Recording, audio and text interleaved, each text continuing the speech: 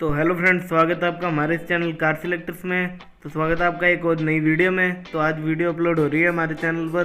तो आज की वीडियो में बात करेंगे हंडई योन 2020 में जो इसका फेसलिफ्ट वर्जन लॉन्च हुआ है, उसके बारे में। तो उसकी सारी डिटेल्स के बारे में बात करेंगे। पहले हम बात कर लेते हैं इसकी फ्रंट साइड की। इसकी फ्रंट साइड में आपको हंडई का लोगो मिल जाता है और बिल्कुल न्यू ग्रिल मिल जाती है ओन जैसा कि आप देख सकते हैं इमेज में। जहाँ पे ये ओन लिखा है, उसके नीचे आपको बहुत ही अच्छी ग्रिल मिल जाती है। बाकी आपको इसकी फ्रंट साइड पहले जैसी मिल जाती है। इसमें ज़्यादा कुछ तो चेंजेस किए नहीं गए हैं। बस इसका इंजन वगैरह बी एस सिक्स में आ गया है और थोड़े बहुत चेंजेस हो गए हैं। मतलब ज़्यादा भी चेंजेस नहीं किए गए हैं इसमें। तो कार फ्रंट से तो बहुत सुंदर है। अगर साइड लुक की बात करें तो साइड से आपको डोर पर थोड़ा सा डिज़ाइन सा मिल जाएगा, जो कि इस कार की लुक्स को बढ़ाता है। बाकी इसकी आपको लेंथ बताएँ तो 3.5 3.5 मीटर की लेंथ है इसकी, जो कि बहुत ही अच्छी लेंथ है। बाकी ये एक छोटी कार के वेरिएंट में आ जाती है, जो कि टाटा की आने वाली एचबीएक्स, जो आई टेन वगैरह से इनसे कम्पीट करती है। आई टेन तो नहीं कह सकते, अल्टो वगैरह से कह सकते हैं, अपने कम्पीट करती है। बाकी साइड लुक बहुत अच्छा है कार का, इसमें आपको लोई व्हील्स मिल जाया करेंगे, जो कि इसके टॉप एंड वेरिएंट में आया करेंगे, चौदह इंच के लोई व्हील बाकी अगर हम इसकी रियर की बात करें तो रियर से भी कार सुंदर बना दी गई है। पहले से थोड़ा बहुत डिज़ाइन में चेंजिंग कर दिया गया है। जैसा कि आप देख सकते हैं रियर की लाइट्स वगैरह बड़ी कर दी गई है पहले से। और नीचे की साइड भी आपको डिज़ाइन मिल जाता है, जैसा कि आप देख सकते हैं, जहाँ पी ऑन लिखा हुआ है, उससे ऊपर। बाकी आपको इसमें पार्किंग लाइट्स भी अब ऊपर की साइड मिल जाती है। इसमें आपको शार्प फिन एंटीना नहीं मिलता, इसमें आपको सिंपल एंटीना ही मिलता है। अगर आप इसका टॉप वेरिएंट भी खरीदें जो भी मैचेज आप देख रहे हैं, वो सिर्फ़ टॉप वेरिएंट की ही है।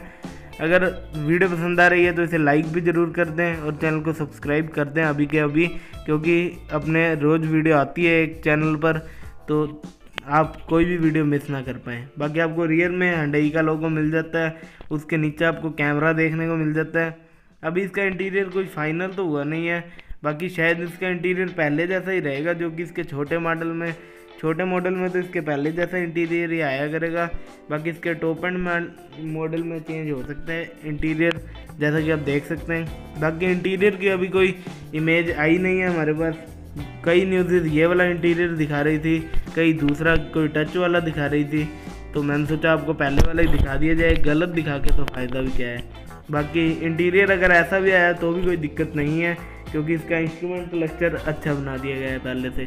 जैसा कि आप देख सकते हैं इंटीरियर वैसे तो छोटी कारों को सिंपल ही अच्छा लगता है। टच टच वाले इंटीरियर जो होते हैं, वो सारे बड़ी कारों में ही अच्छे लगते हैं। जैसे कि इनकी बड़ी क्रेटा वगैरह आती है, उनमें ही अच्छे लगते हैं। ये अच्छे बड़े इंटीरियर तो छोटी कार में तो सिंपल इंटीरियर ही अच्छा लगता है। लास्ट में बात करें इसकी इंजन ऑप्शन की और इसकी प्राइजेस वगैरह की और थोड़ी बहुत और डेफिनेशन की इसकी।